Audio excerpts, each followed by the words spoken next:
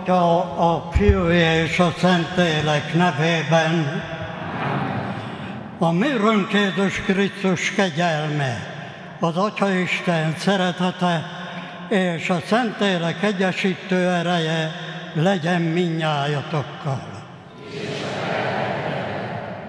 Néhány ünnepi gondolat a 2023-as jubilánsoknak.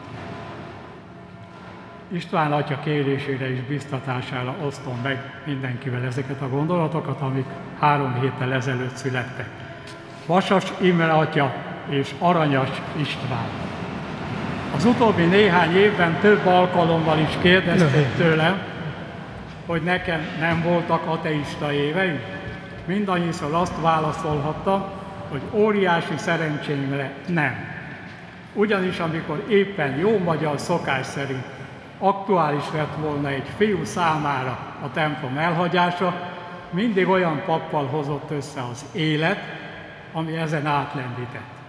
Ilyen volt 1964-ben Polgárdiban, mikor a büntetésből odahelyezett Horváth Imre káplánnal budapesti egyetemisták is érkeztek, vagy jöttek vasárnapról vasárnapra.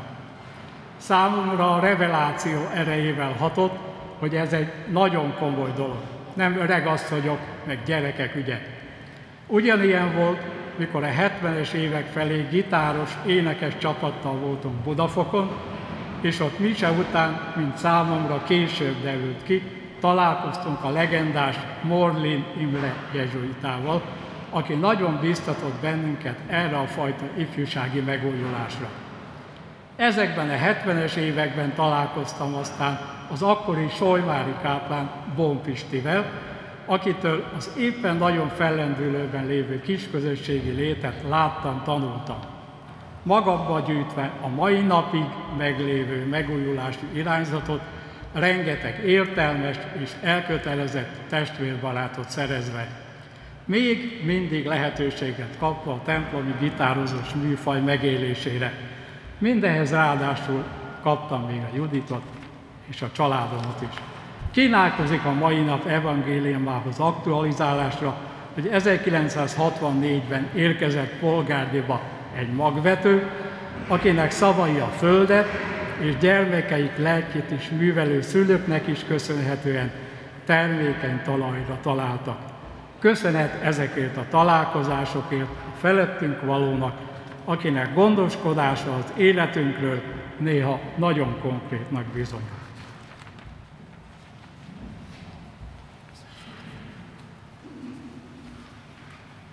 Köszönjük szépen Gábornak visszaemlékezéseit és aktualizálását régi és mai emlékekkel kapcsolatban.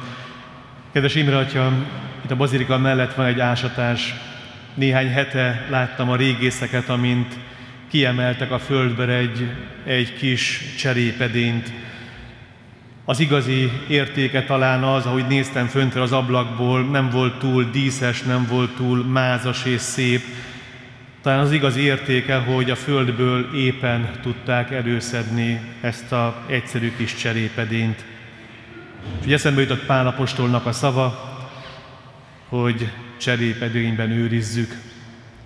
És aztán eszembe jutottál, hogy 65 év papi jubileum, eljöttünk azért, hogy hát adjunk a Jóistennek, hogy megőrzött számunkra téged. És olyan Gábor is említette, sok-sok találkozás ebben a 65 évben, sok-sok prédikáció, sok-sok igehirdetés, amit te találkozásokban elvetettél, a Jóisten ügyét szolgálta. Én hálás vagyok azért, hogy elfogadtad a meghívást, és a mai nagyon szép jubileumot ünneppel megajándékozott közösségünket, megajándékozott itt lévő híveket is. Szeretettel köszöntünk, Isten hozott ide a templomba.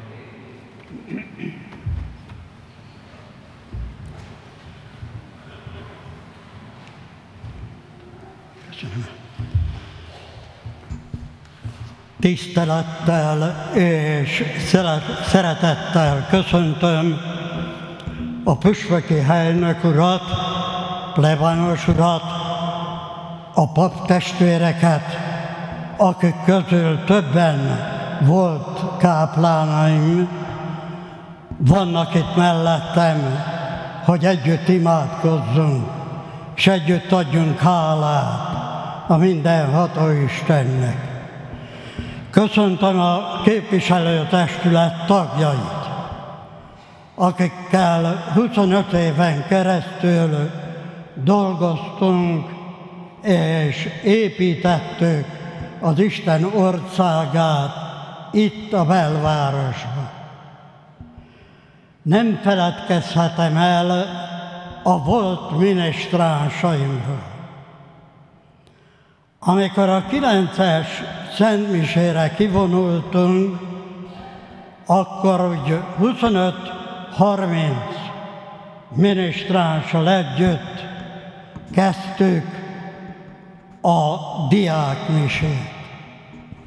Köszönöm, hogy eljöttek, de köszönöm a kedves híveknek is a jelenlétét, és megköszönöm az imádságukat. Köszönöm mindazt a munkát, amit ezzel az ünnepséggel kapcsolatban kifejtettek. Hogy a Szent pedig méltóképpen vehessünk részt, tekintsünk önmagunkba, vizsgáljuk meg lelkiismeretünket, és bánjuk meg bűneinket.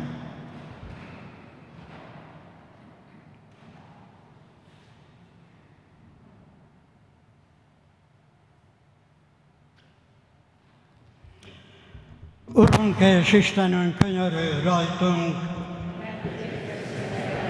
Urunk, mutasd meg nekünk irgalmasságodat.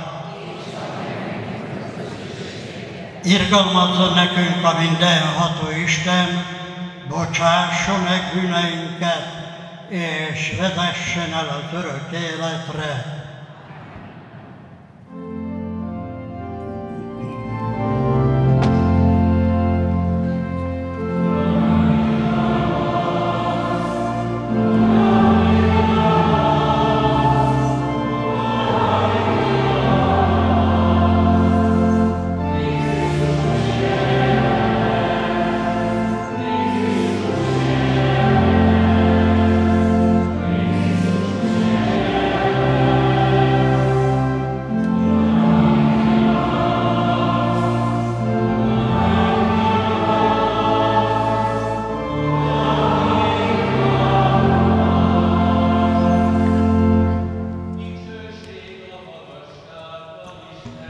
Dicsőség a magasságban Istennek.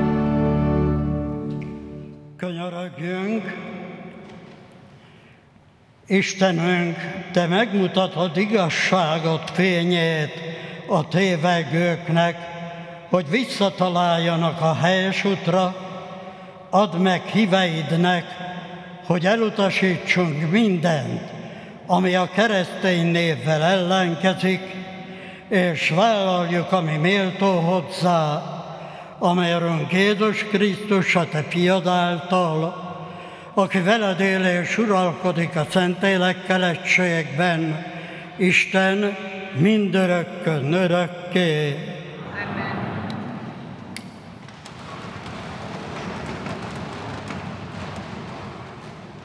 Olvasmány Izaiás próféta könyvéből.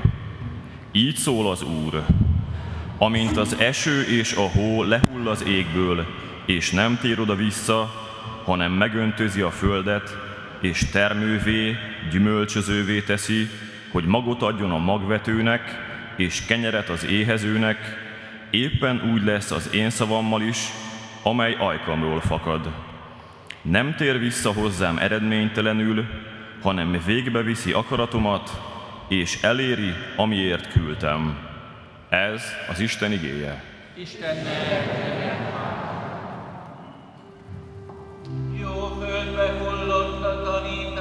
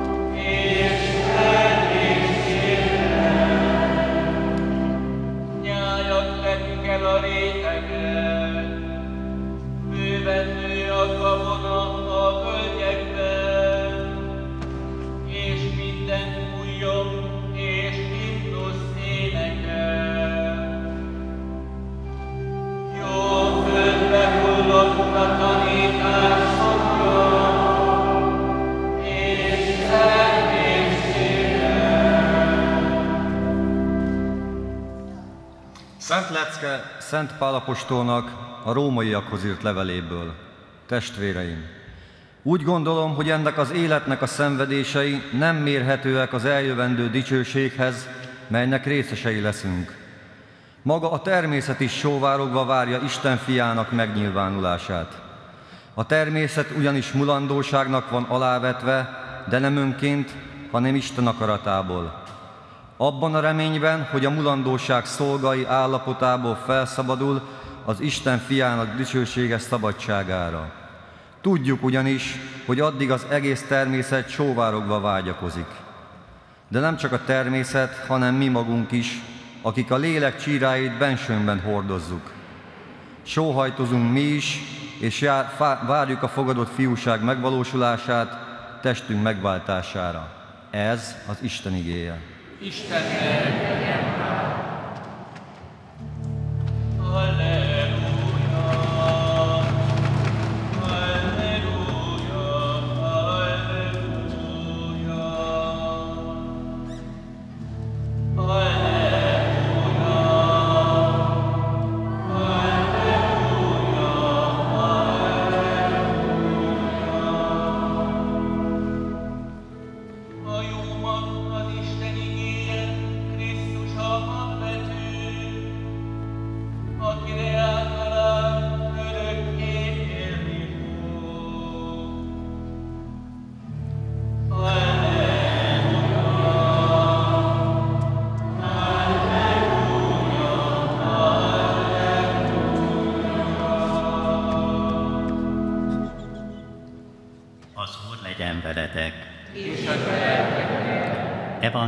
Evangélium Szent Máté könyvéből.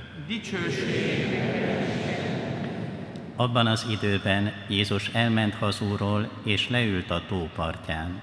Hatalmas tömeg gyűlt össze, ezért beült egy csónakba, a tömeg pedig ott állt a parton. Ekkor példabeszédekben sok mindenre oktatta őket. Íme kiment a magvető vetni. Amint vetett, némely szem az útszére esett. Jöttek az égmadarai, és ezeket mind megették. Némely szem kövek közé esett, ahol nem volt elég termőföld. Ezek hamar kikeltek, hisz nem volt mély a föld. Majd amikor a nap fölkelt és forron tűzött, kiégtek, mert nem volt gyökerük. Voltak szemek, amelyek tövisek közé estek, és amikor nőni kezdtek, a tövisek elfolytották őket de a többi szem jó földbe hullott és termést hozott. Az egyik százszorosat, a másik hatvanszorosat, a harmadik harmincszorosat.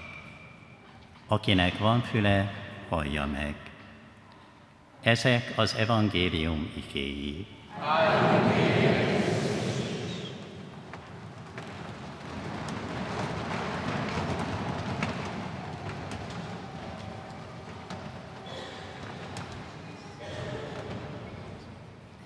Kedves Imre Atya, főtisztelendő paptestvérek, kedves jó hívek, nagyon köszönöm Imre Atya fölkérését, bár méltatlanságom tudatában állok most itt ennél a ambónál. Hallottunk három szentírási részletet Izaiástól, Szentpálapostoltól és Máté evangéliumából is. Mindegyik bibliai részlet eh, a termésről, a magról szól, és ahogy Gábor is utalt erre, hogy könnyű ennek az ünnepnek az aktualitását ezekben a szakaszokban megtalálni. Köszönjük a jó Istennek mindazt, amit nekünk mond, és hát keressük együtt azt, hogy hogyan tudunk mi az Isten szavára hallgatni, hogyan tudunk mi magvetők lenni, és keressük azt is, amit Imre Atya, te vetettél.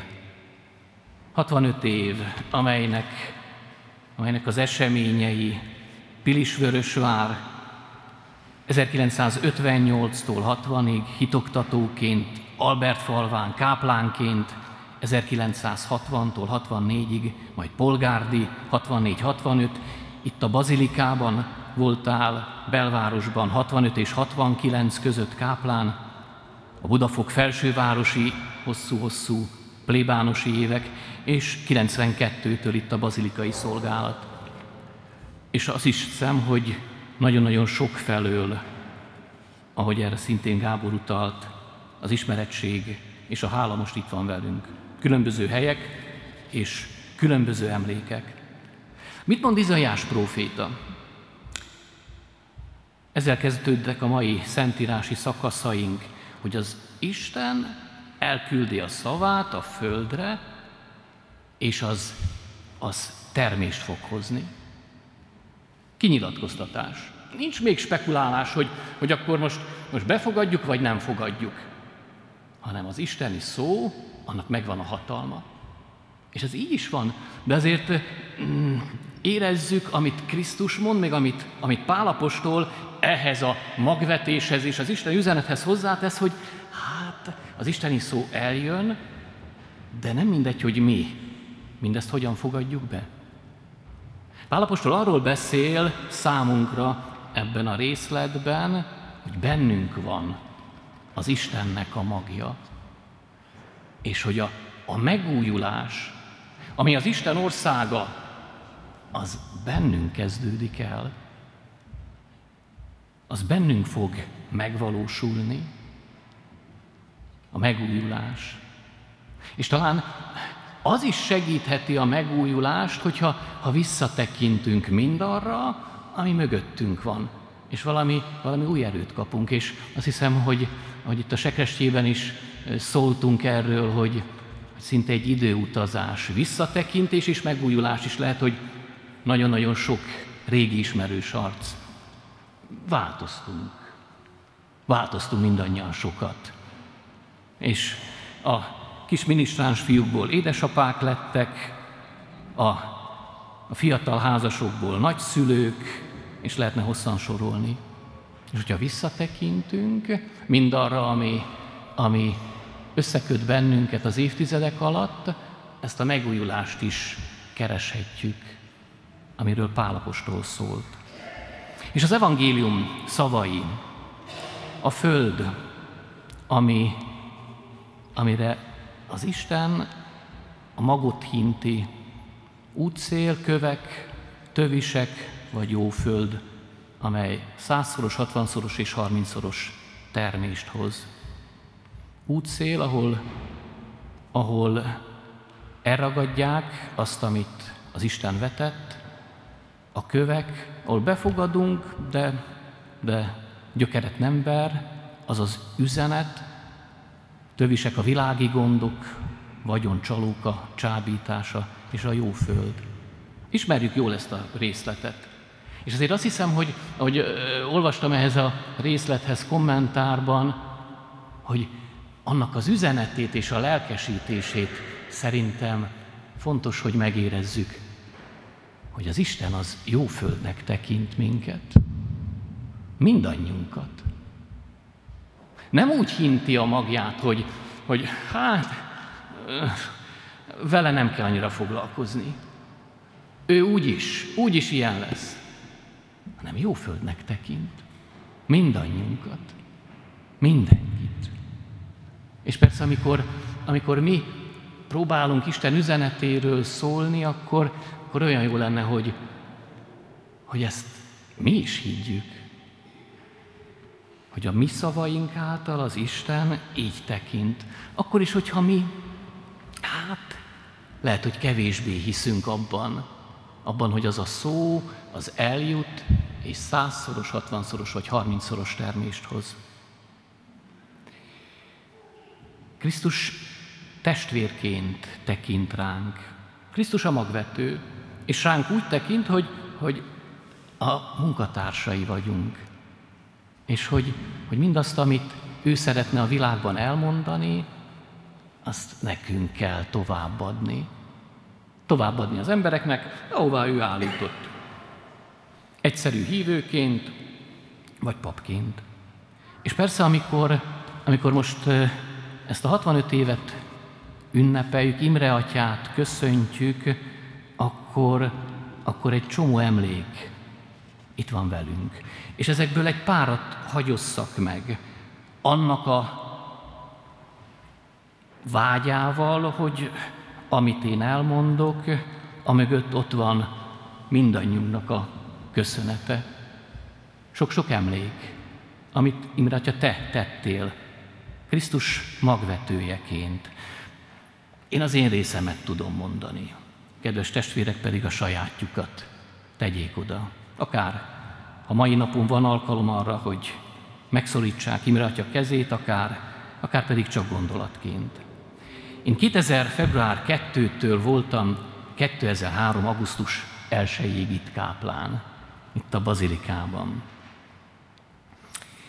Emlékek, amik, amik előjönnek. Szobájában Imre atya délután, ebéd után kinyitja a olvasmányos könyvet, és készül a hétköznapi szentmisére. Nekem ez egy jó magvetés volt, és nagyon köszönöm, Imre Atya. Pedig mondhattad volna, hogy hát, azért tudok szólni, bármelyik bibliai részletről vagy szentről, és mégis készültél.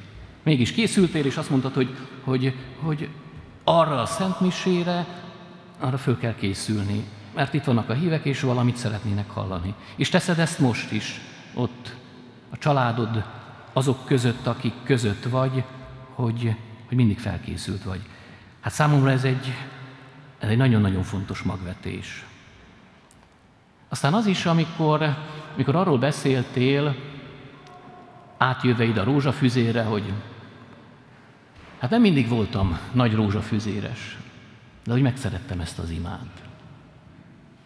És hogy itt voltál, ha egyetlen, ha mód volt arra, a szemmis előtti rózsafüzér imádságon is. Próbálom tanulni. És azt az őszinteségedet is köszönöm, amivel, amivel azt mondtad, hogy nem mindig volt, hogy minden nap elmondtam a rózsafüzért. Köszönöm. Aztán egy, egy másfajta emlék, amiben, amiben azt mondom, hogy hát a magvetés bennem azért nem tudott úgy szárba szökkenni, hogy szerettem volna. Ezek a minisztránsok, akikre utaltál te is, és akik közül nagyon sokan itt vannak. Hát egy nagyon-nagyon klassz, stram minisztráns csapatod volt. Én nem tudtam. Nem tudtam ezt az én helyeimen megvalósítani. Hát hát, majd, majd a magvetés később fog szárba szökkenni, de köszönöm a, köszönöm a példát. Aztán egy koncertnek az emlékét is hagy hozzam ide. Itt a bazilikában készültek koncertre, már a bejáratnál ott volt a jegyszedő, és Imre atya öltönyben velem jön. A, a jegyszedő nem ismerte Imre atyát, de azzal a határozottsággal, amivel ő bejött a templomba, ott nem volt, hogy a jegyét legyen szíves felmutatni. Imre atya jött. Azt sugározta, ami ő, ennek a templomnak a plébánosa, az öltönyében is. Ez is számomra egy, egy magvetés. Aztán még személyesebb emlék. Iszka Szentgyörgyön őszi idő, és sok eső esett abban az évben, és jó volt a gombatermés. Rizikéből lehetett gyűjteni rizikéből lehetett gyűjteni, és Imre azt mondta, hogy szívesen eljön velem. Együtt gombáztunk. Köszönöm, hogy ezt megtetted, hogy, hogy eljöttél, hogy, hogy ami nekem örömet okozott, ami nekem fontos volt, abban, abban velem voltál. És azt hiszem, hogy, hogy nagyon sokan el tudunk valami hasonlót mondani, lehet, hogy nem gombászás, lehet, hogy teljesen más jellegű dolgok, de amiben megéreztetted paptestvérekkel, hívekkel, hogy a gondjaink az a te gondod is, és az örömeink is, a te örömeid is lehetnek. Köszönjük ezt, ezt a magvetést is. Meg a focinak a szeretetét, amit te olyan, olyan nagy-nagy örömmel fölvállaltál. Aztán ezt tanultam, ebben talán, talán jó magvetés volt az, amit te tettél. Ezt is köszönöm. Meg mindazt, amit, amit papként, plébánosként megmutattál. Tudom, hogy ez nagyon-nagyon pici keszelet, de hogy kértem, tegyünk oda mindannyian. Mindazt, amit mi tudunk emlékekként, tőled kapott magvetésként hozni. Jézus a magvető. Jézus az, aki, aki a magot veti ebben az evangéliumban, és hogyha nem csak ezt a részletet olvassuk, és hogyha a Biblia egészét és az evangélium kinyilatkoztatásának az egészét nézzük, akkor, akkor azt is tudjuk, hogy Jézus olyan magvető, aki önmaga is mag. aki elveti magát, aki odaadja értünk önmagát, aki meghal a kereszten, de az áldozatából termés lesz, a mi üdvösségünk. A mi üdvösségünk. És azt hiszem, hogy talán ennek az üzenetnek azon túl, hogy szeretnénk mi is befogadni az Isten üzenetét, és jó földek lenni, és, és szeretnénk mi is hinteni az isteni ige magvait oda, ahová az Isten bennünket állított.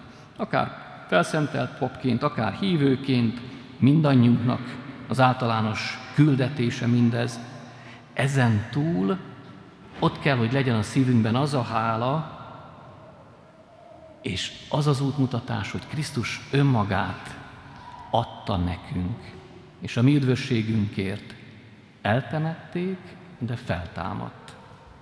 És ez ad a mi áldozatainkhoz is, a mi lemondásainkhoz, a mi küzdelmeinkhez is, a mi betegségeinkhez is, ami néha sikeres, néha lehet, hogy sikertelenebb cselekedeteinkhez erőt.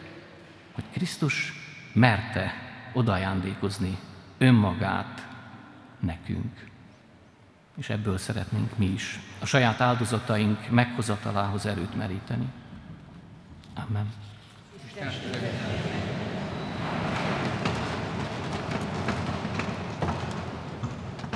Most valljuk meg a hitünket. Hiszek egy Istenben, Testvéreim,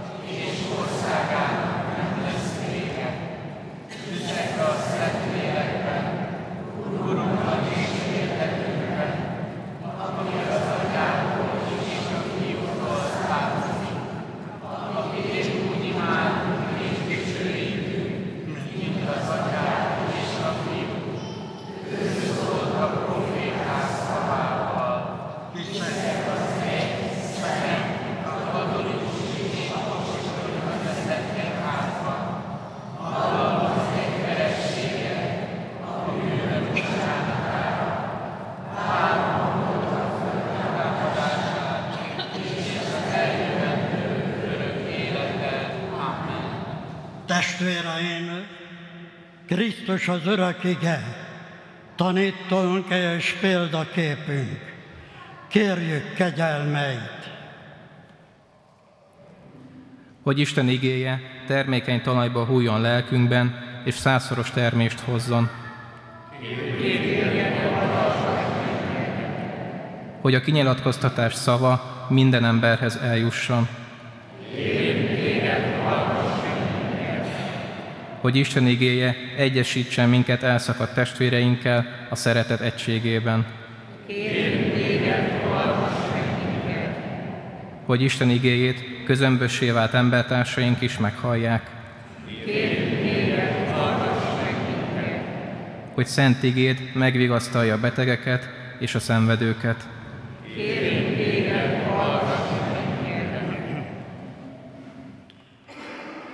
Urunk Jézus Krisztus, segíts minket, hogy tanításod szívünkben és jó talajra hújjon, és gazdag termést hozzon, aki élsz és uralkodol mindörökkön örökké.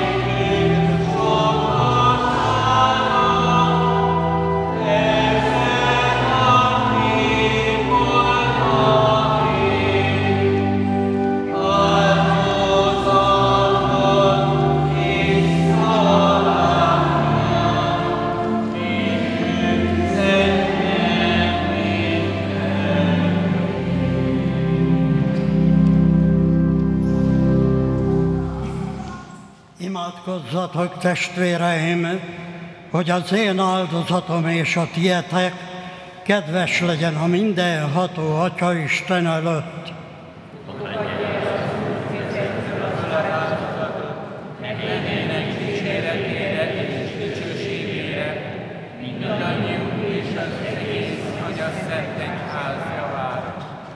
Istenünk, fogad szívesen könyörgő egyházad áldozati adományait, és add, hogy életünk megszentelésére részesedjünk belőlük, Krisztus a mi örünk által. Amen.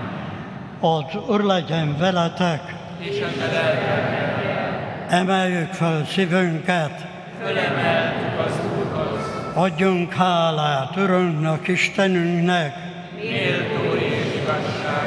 mert valóban méltó és igazságos, élő és üdvös, hogy mindig és mindenütt hálát adjunk néked, mi Urunk, Szentséges Atyánk, mindenhat örök Isten, mert benned élünk, mozgunk és vagyunk, és földi életünkben nem csak jóságodat tapasztaljuk napról napra, hanem megkaptuk tőled az örök élet zálogát, a Szentlélek ugyanis, aki életre keltette a halálból Jézust, már elkezdte Isteni működését lelkünkben, így reméljük, hogy a húsvét szent titkában állandóan részesít minket, és ezért mi is dicsőítünk az összes angyalokkal együtt, vidám lélekkel éneklünk, és hálás szívvel zengjük.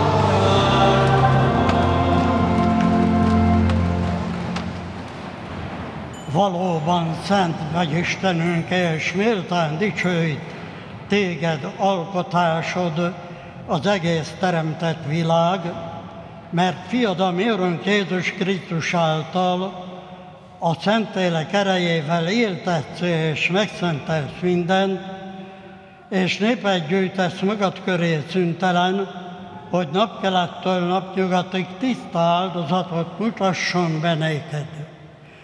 Kérve kérünk tehát Istenünk, a Szentlélek által szentelt meg áldozati adományunkat, hogy teste és vére legyen fiadnak, a mérünk Jézus Krisztusnak, akinek rendelése szerint ezeket a szent titkokat ünnepeljük. Ő ugyanis azon az éjszakán, amelyen elárultatott, kezébe vette a kenyeret, hálát adott, megtörte, tanítványainak adta, és így szólt. Vegyétek, és egyetek ebből minnyájan, mert ez az én testem, mely értetek adatik.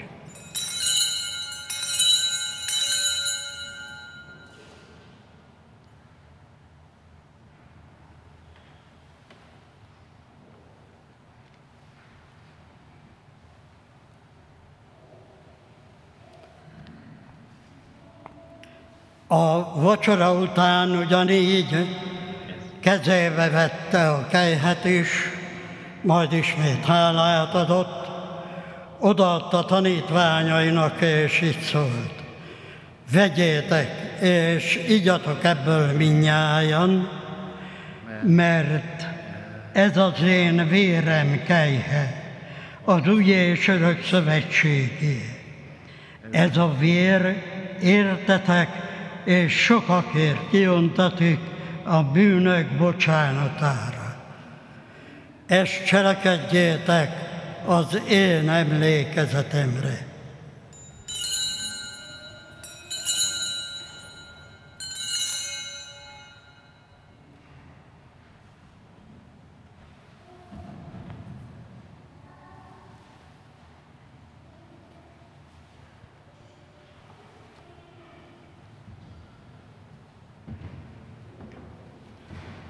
Íme hitünk szent titka. Halálra hirdetjük, Urunk, és hitre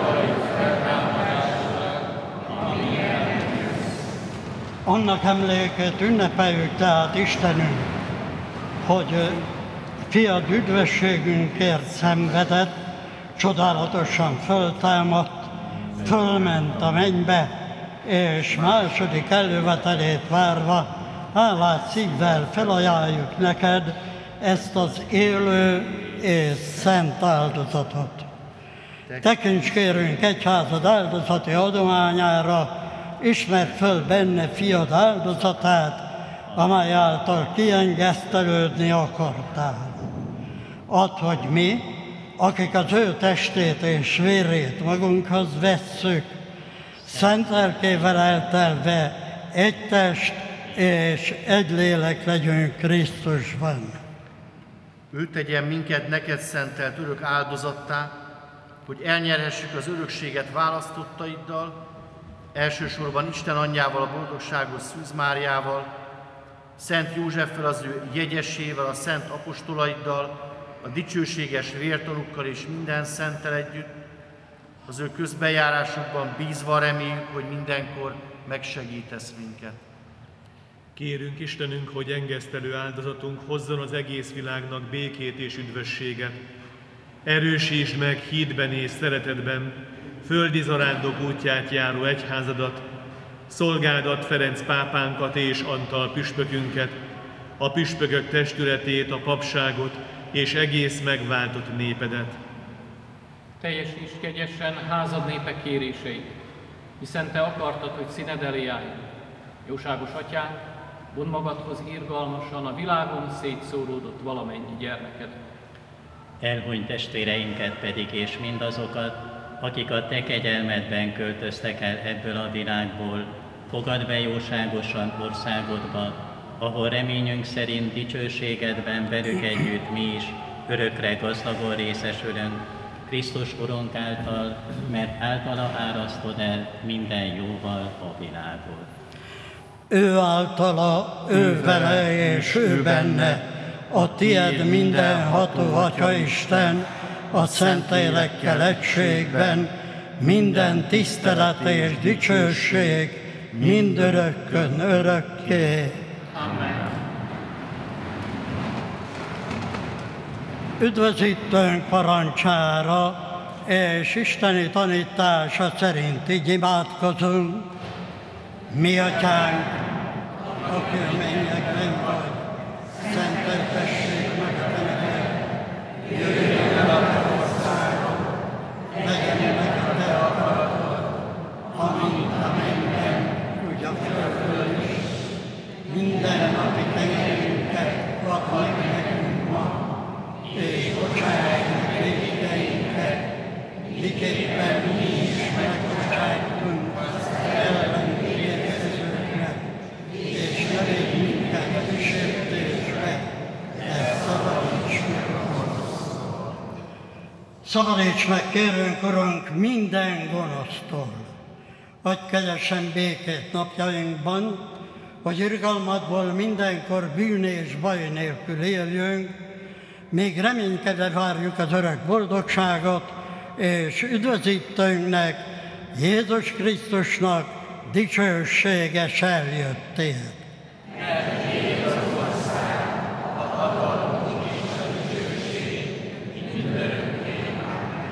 Urunk Jézus Krisztus, Te azt mondottad apostolaidnak, békességet hagyok rátok, az én békémet adom nektek.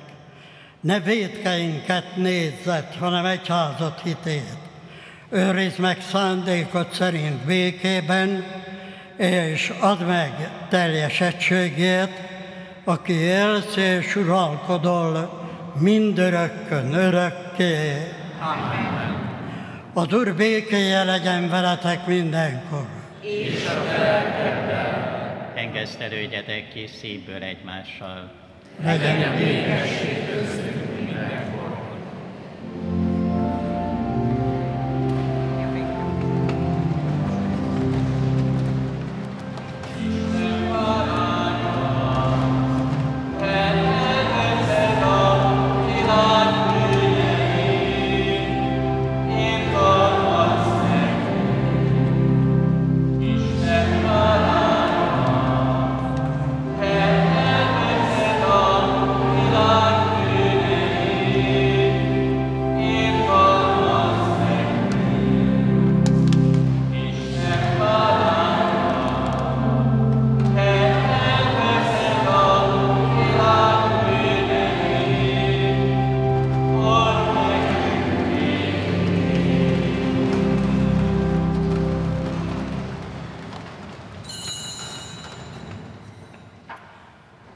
Íme az Isten báránya, íme aki elveszi a világ bűneit. Boldogok, akik meghívást kaptak a bárány lakomájára. Uram, nem vagyok méltó, csallékomba jöjj, hanem csak egy szóval mond, és meggyógyul az én lelkem. Krisztus testvér.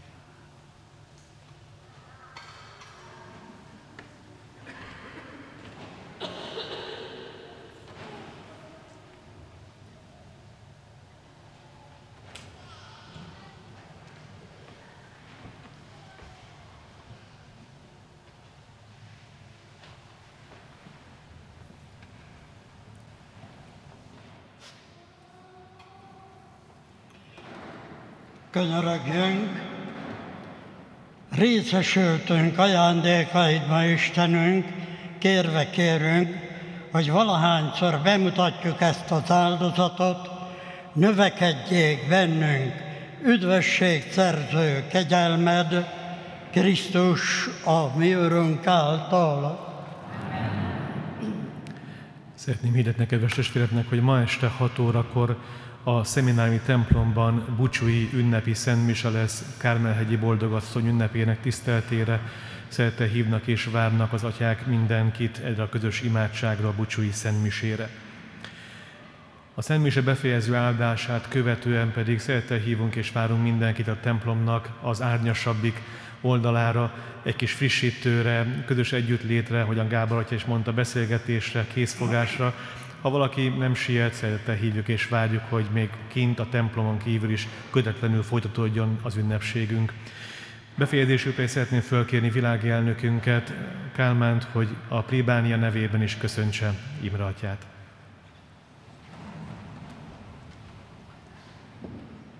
Főtisztelendő plébános úr, kedves Imre atya! Engedjen meg, hogy a belváros egyházközség hívei, a képviselőtestület tagjai és minden jelenlévő nevében szeretettel köszöntsem abból az alkalomból, hogy most ünnepi papá szentelésének 65. évfordulóját. Köszönjük ezt a bemutatott szentmisét, köszönjük, hogy együtt imádkozhattunk és hálát adhattunk az elmúlt 65 év minden kegyelméért. A Jóisten áldása, a szűzonya pártfogása kísérje további életében, jó Isten tartsa meg erőben, egészségben, Isten éltesse sokáig.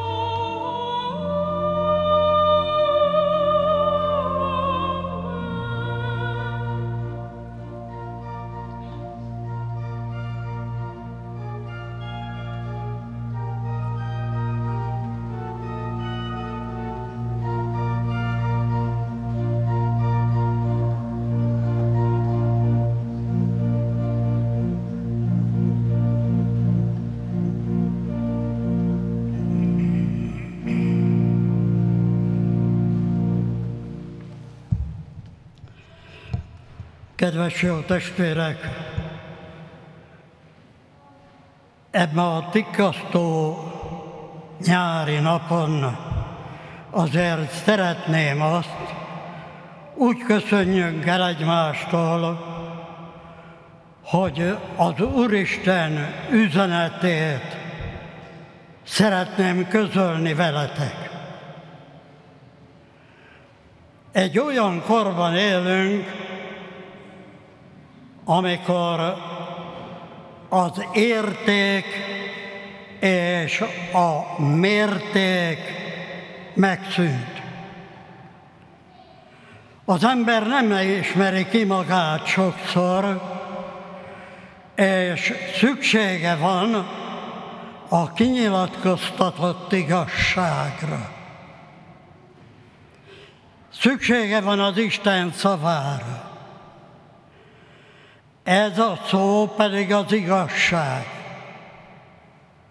Amikor ezt az igazságot mondja az ember, akkor a körülöttünk lévő hazugság minden, minden lelepleződik. De nem akarom tovább folytatni a elmélkedést. Köszönöm mindenkinek az imádságát, a munkáját, a köszöneteket, a paptestvéreknek a jelenlétét, és hogy együtt imádkoztunk. Valahogy úgy, mint Reményi Sándornak van egy verse. Ennek a versnek a címe Valaki értem imádkozott. Ez a vers így szól, amikor a bűnöktől meggyötörtem, amikor a lelkem terheket hordozott,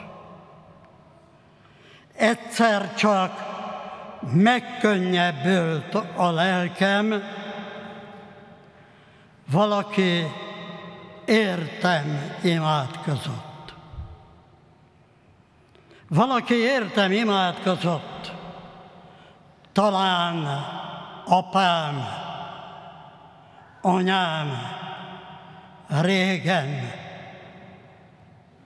talán jó barátom, Testvéreim, nem tudom, de áldom érte Istent, aki nékem megváltást hozott, és mindazt, aki értem, egyszer is imádkozott.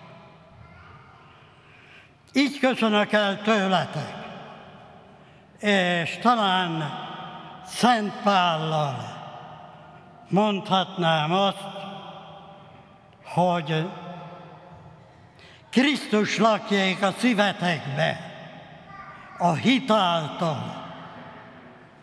Életetek alapja és tápláló gyökere legyen a szeretet. Drága jó testvérek, a hit gazdaggá teszi az embert. Ha filozófiailag nézem, mit jelent a gazdagság, erre így felel a filozófus, hogy a jól rendezett világban összegyűjtött munka a gazdagság ez előbb vagy utóbb kultúrát teremt. A gazdagság szárnyakat adhat, de bilincsbe is köthet. Lehet a kultúrának a bölcsője, és lehet a temetője. És most mégis ezzel szólok. A középkorban volt egy legenda. Ebben a legendában azt mondták, hogy volt egy különös balzsa, amivel ha megkenték az ember szemét, akkor túllátott a, gond, a dolgokon. Drága jó testvérek, nekünk ez a balzsam nem más, mint a hitünk és ezzel a hittel nézem a világot. És így tudom csak mondani, hogy enyém a virágok illata, enyém a madaraknak az éneke, enyém a gyermekek mosolya, Isten az atyám, Jézus Krisztus pedig a testvérem. És van a világon egy asszony, aki csodálatos. A boldogságos Szűz Mária, aki ben fölragyog az Isten dicsősége. Ez az én édesanyám. Kedves jó testvérek, ha ezt így élitek meg, hátralevő életetekbe, akkor Szent Pállal elmondhatjátok, mert Ratzinger, a későbbi 16. Benedek pápa mondja a hitről, hogy tudás és bizalom. Visszatérve Pál apostolra, aki így fejezte be ezt, tudom, kinek hittem, és biztos vagyok benne. Hát ezt kívánom mindegyiteknek. Hittel megérni az életet, hogy elnyerjük az örök boldogságot. Ezt adja meg mindegyiteknek, ebből az ünnepből kifolyólag a mindenható Isten, aki öröklátó, tiszta mély szemével rám tekintett, és 65 évvel ezelőtt meghívott az ő szolgálatára. Az Úr legyen veletek! áldjon meg benneteket a mindenható Isten, az Atya, a Fiú és a Szentlélek. A Szent a véget ért, menjetek békével. Isten